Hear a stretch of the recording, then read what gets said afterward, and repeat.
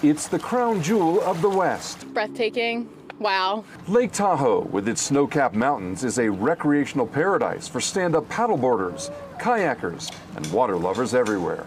I need to make sure our meter wheel up here is zeroed. UC Davis scientists have been measuring the water here every year since 1968 and discovered a big drop in Lake Clarity last summer. It went down almost 17 feet in 2016. The Lake Clarity last summer dropped to just 56 feet, a dramatic difference from the year before. Scientists here believe the reason is that climate change is causing the lake to become warmer earlier in the calendar year. In 2016, it was this warming of the surface water and the, and the rapid reproduction of these very small uh, diatom cells. In other words, algae and other small organisms are scattering the light and reducing the clarity of the lake. I think it's horrible.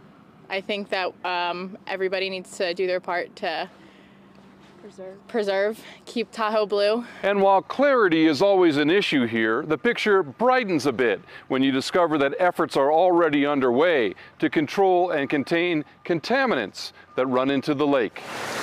Stormwater pollution is a big cause for concern here, but state, local, and federal agencies have spent almost $2 billion for environmental projects to reduce dirty runoff.